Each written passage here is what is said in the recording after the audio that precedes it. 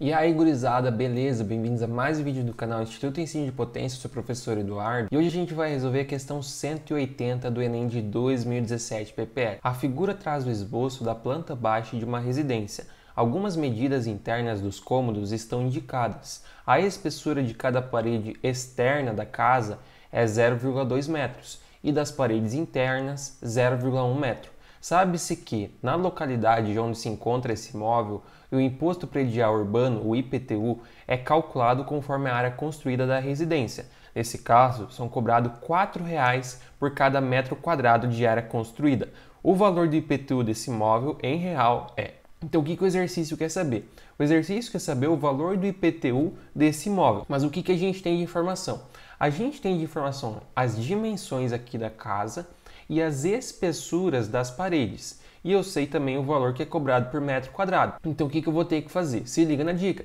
Primeiro eu vou calcular a área total desse imóvel. Sabendo a área, eu vou multiplicar por 4 para saber qual que é o custo do IPTU. Então vamos lá, mamão com açúcar. O que, que eu tenho que fazer? Primeiramente, calculando a largura. A largura vai ser esse lado aqui. Então, daqui até aqui. Então, o que, que eu tenho? Eu tenho que essa parede aqui é uma parede externa, então ela mede 0,2 metros. Ele me dá essa informação aqui.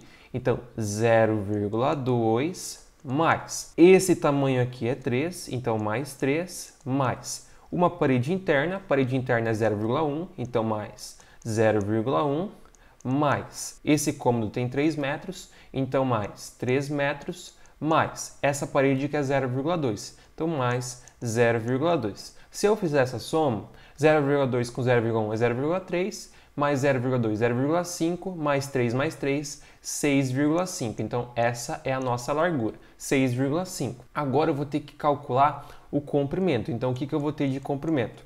O meu comprimento vai ser daqui de baixo até aqui em cima. Então, o que, que eu vou ter?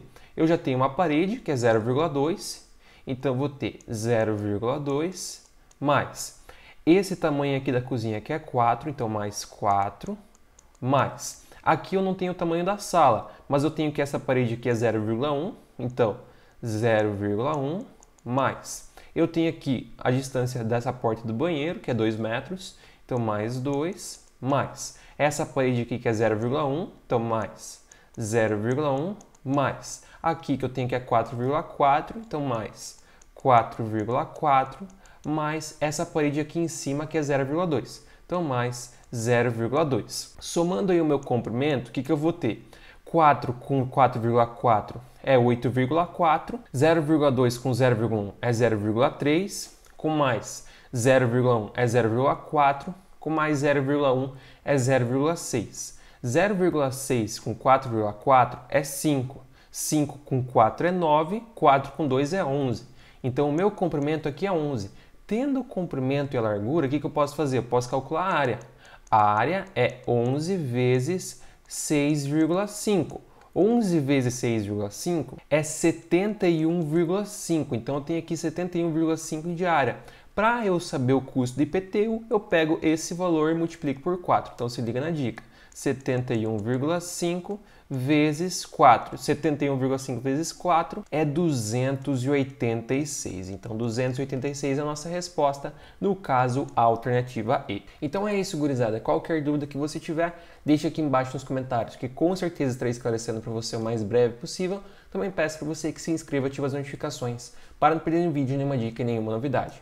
Muito obrigado a todos que assistiram, bons estudos, um grande abraço, valeu e até a próxima.